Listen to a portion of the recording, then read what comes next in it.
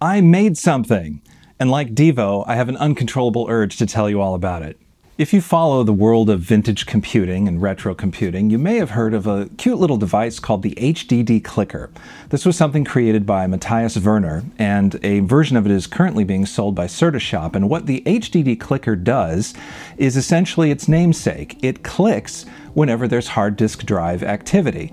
The idea is that you put it in line between the controller card and the LED light of the controller card, and then every time the LED light would light up, the HDD clicker would click. And you might be thinking, why would anyone want that? Why would anyone want to make their computer noisier? Well, the advantage of the HDD clicker is that if you have converted your uh, retro system to solid state storage, like a compact flash card or an SD card, uh, you may miss the nostalgic sounds of hard disk activity, including the uh, actuator arm being moved around by the uh, stepper motor. So the HDD clicker rectifies that. Now, if this feature of adding a click to hard drive activity seems familiar, you might be thinking of the Plus hard card, which was a hard drive on a card that came out in the latter part of the 1980s. Uh, Plus would uh, attach their hard drives to controllers and put it all on the same ISA card. But because it was inside the system and the hard drives were then new IDE drives and very quiet, there was usually no indication of disk activity, so Plus built into their BIOS the ability to turn on and off a small click whenever there was hard drive activity. So I was reminded of that when looking at the HDD clicker, but one thing bothered me, and that was that a lot of the videos that are demonstrating the HDD clicker are doing so on DOS PCs. And if you have a DOS PC, you can do what the HDD clicker does in software. So I did just that. I wrote a memory resident program called Soft HDDI, which stands for Soft Hard Disk Drive Indicators. And the indicators is plural because it does more than click. And I'd like to tell you about it.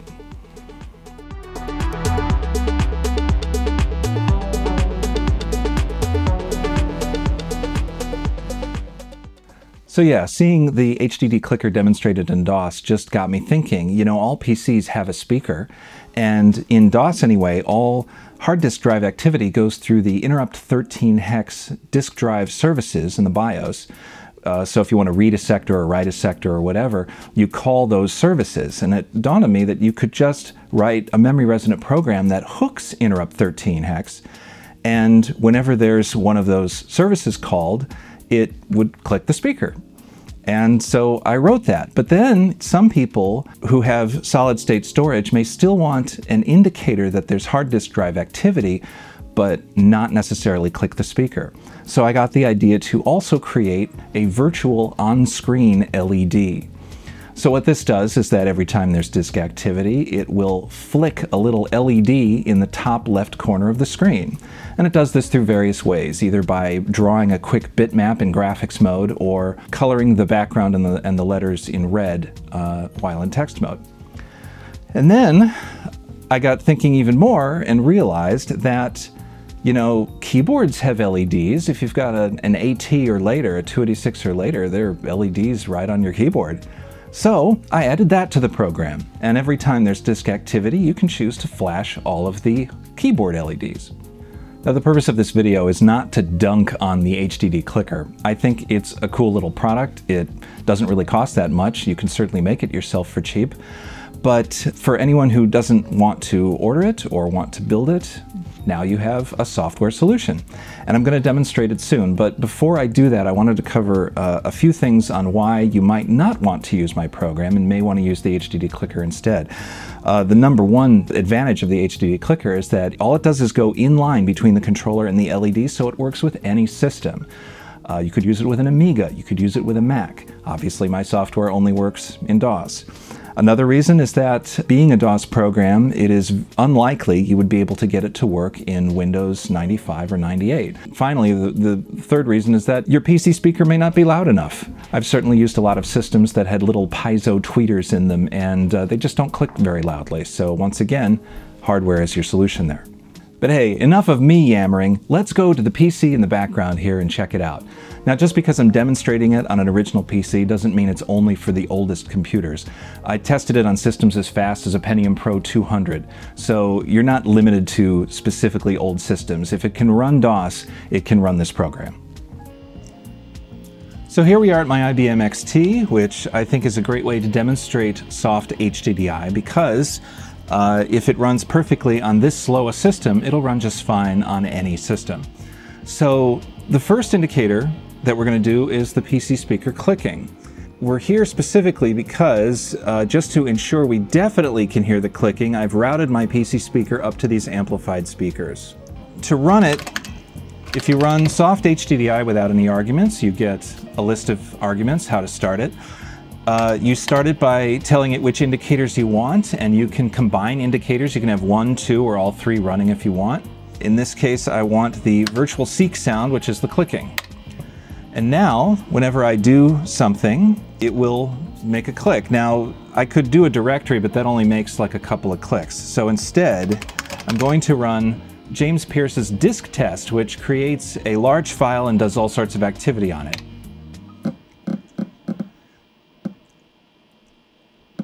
So you can hear it every, so every time the quote unquote head moves, uh, it, the program makes a click.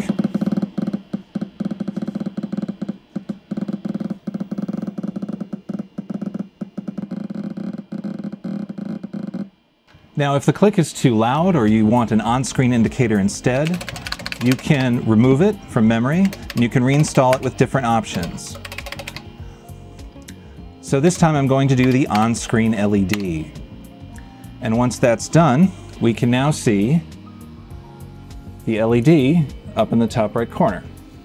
I'll go ahead and zoom in so you can see that a little bit better.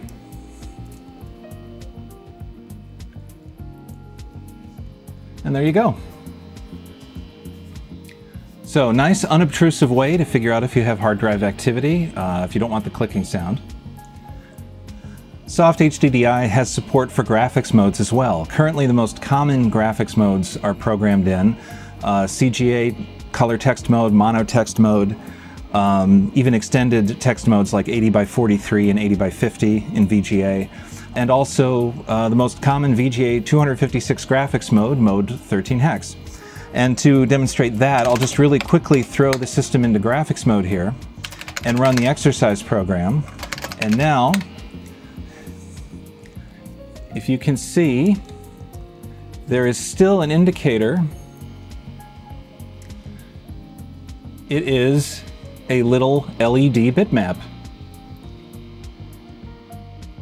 That was regular CGA. If we do, you can also do the, the high-res monochrome mode, and sure enough, there's the little LED as well. Now you might think painting a bitmap on the screen constantly would take up too much time, but it actually doesn't. Soft HDDI was written in 100% assembler, and I know what I'm doing. so it does not impact disk performance at all. The speed of the disk I.O. is much slower than that of the actual soft HDDI program.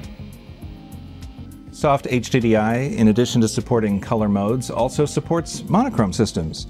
So I have here a dual-headed system. I've got two monitors connected to my XT. So if we switch over to the monochrome monitor and run our same test without making any changes, sure enough, we have our indicator in the top right.